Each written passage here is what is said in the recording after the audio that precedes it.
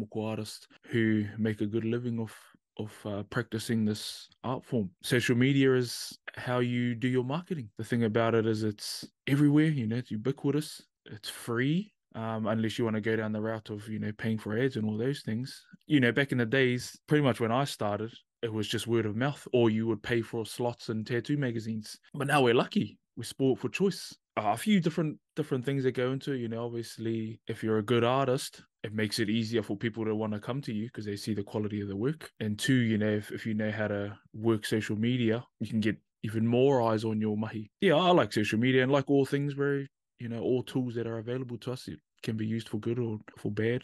And you can choose to see the good or the bad and and opportunities. Uh, i think that comes down to to the individuals. It is and that's what i always say i always say it is a very powerful tool if you uh, use it correctly, and you know, um, it can be very beneficial to businesses.